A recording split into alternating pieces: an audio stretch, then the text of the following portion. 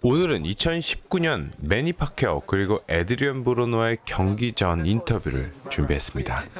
Manny, Manny, you you fought some of the best fighters in the world, h- future Hall of Famers, current Hall of Famers. Where does Adrian Broner rank amongst the guys that you fought in your career? Adrian Broner is um, he's also a good fighter. Like I said, uh, he's a former champion and, and he's, he's he's a good boxer. I mean, uh, um, ten uh, um, one out of ten. Um, is for me it's uh, number eight, number seven, eight, like that. You know, a lot of people when they, they talk about your, your your best assets, they talk about your footwork, your angles, and stuff like that. What do you personally think is the best thing you do in the ring? I think the the coordination, footwork, and um, and um, throwing out the solid punches. Can you tell the difference though, being older? Like, I mean, I'm 45 and I can tell, you know, my back hurts a little bit, my knees hurt. Like, can can you feel the difference physically, or, or do you really still feel like you you, you were when you were 20? I, I don't feel like that. Um, I mean, um, I, I'm okay. I, I feel I, I feel nothing. That's why I'm so thankful to God for giving this uh, this strength, this good health, because they said when you reach at age 40, you can feel back pain and like that, you know, dizziness like that. But I don't feel that. I mean, um, you know, God is good. I don't feel that. I'm so excited, and even without boxing match, without a scheduled fight, I'm eager to, to work hard. Not not in boxing, but I, I play basketball uh, almost every day, four hours every day. Man, his shoulders okay and everything. There's no Yes, problems. yes, shoulders The guys in the PBC, Keith Thurman, Shawn Porter, you know, all these guys are about 30, right around that age. They're 10 years younger than you. They're hungry to get the level of success that you've had. How do you keep at, you know, training at the level that these guys are training at to try and get to your spot? Oh yeah, training is not a problem. Uh, we did uh, what we did in, in, in the past. Um, 10 years ago, 15 years ago, training. We did this this uh, training camp. We still uh, did the same training uh, routine, uh, but like I said, we give the body time to recover. Manny, when you're 20, you think 40 is old, and you think, I'm not going to fight that long. When you were 25, did you think you'd be fighting at 40, or, did, or when did you think you would end when you were young? You know, I will tell you this. When I was 20, when I was 25 years old, I'm not thinking my. I'm not think. I'm really not thinking that myself. I'm still fighting in at the age of 40. but I'm not thinking also that at age of 40, I it's just old, old for me. Because uh, it depends how you discipline yourself, managing your your, your body. I think even at the age of 40, you can still you can still fight. But the thing first- is, uh, but thing is, the problem is, especially when you become a, a champion, you reach your dream of become a champion at age of uh, 29, 28, 30. You know, later, later, later time, later years at your age, like at the age of 35, you become lazy. You know, I get that all. I already a champion, and then I experienced that. So I think uh, I'm, I make, you know, I take it easy right now. So that's uh, some of uh, uh, athletes. Do you think Broner's a disciplined fighter? I cannot, uh, you know, uh, I cannot uh, give a comment for himself and uh, other people. I just to myself only.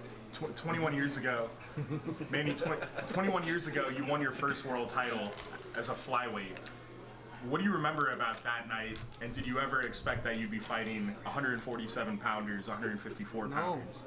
No, I never imagined. I never imagined that I can fight at 154 pounds against Margarito. When I started in boxing, I will tell you this.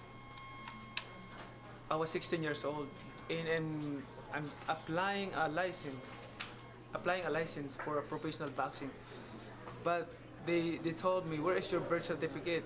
You cannot turn professional until you are age, you are 18 years old. I was 16 years old, and I said, I'm 18 years old, mom. I'm I'm 18 years old, and then uh, I just turning 18 years old December 17, and my, my fight is January 25, 1995. And then I just turning um, 18 years old, with him, and then and then oh, where's your birth certificate? in that time we don't have uh, airmail or email. We Yeah. don't have phone. So, oh, mom, can we uh, eh, just to follow the, the, the birth certificate because I, I will- I will get my birth certificate in Mindanao, which is um, far away in the province. Fight, mom, is just next this this month, January 25. So I need like to get the license because, but the, the birth certificate will, will follow. And then uh, they give me a license. Okay, good. But I have a problem when uh, weigh in. The minimum weight is 105, right? Yeah. Mm-hmm. 105 at the professional.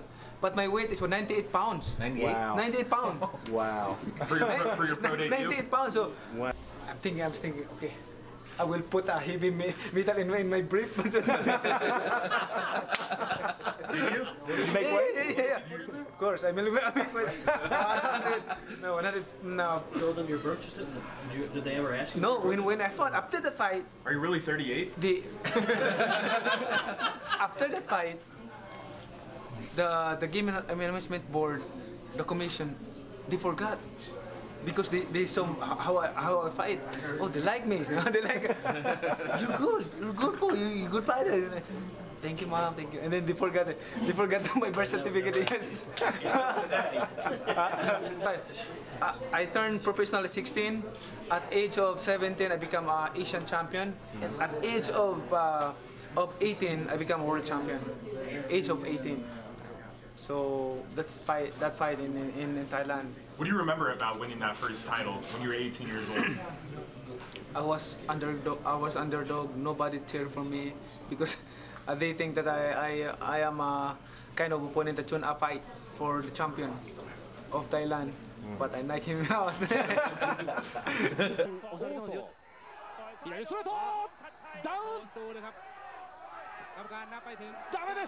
I can fight anybody on 147. I tried to 154, but you know when I beat Margarito, and then the WBC asked me, "Are you going to defend your your your your junior middleweight title?" no, give it to the neighbor mind. Never mind.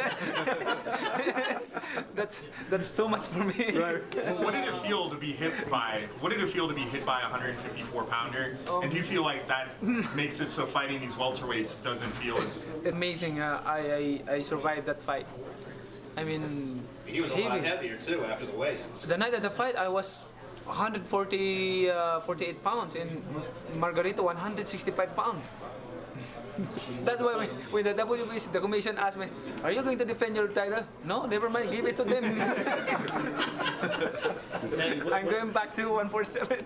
What did it feel like to get hit by a guy that was that heavy and that much bigger? Man, I can carry the the punches, but the thing is, uh, after the fight, you you can feel something. You know, um, it's too much. Even is that it's uh, that's high for me. My